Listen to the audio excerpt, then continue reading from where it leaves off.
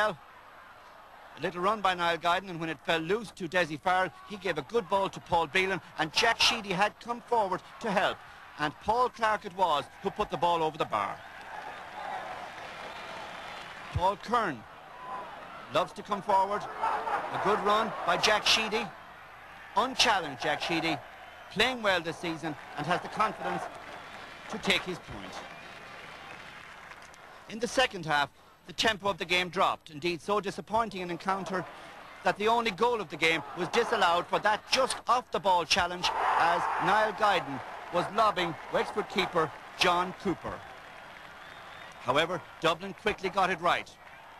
The ball bouncing kindly for Jack Sheedy and a typically powerful surge from midfield riding the tackles well, looking up, giving the ball through to Vin Vinnie Murphy, who had played a lot of the game at full forward, out to support Jack Sheedy, transferring to uh, Dessie Farrell. The hop gave De Dessie Farrell time to look at the target, and Dublin accuracy on the day could not be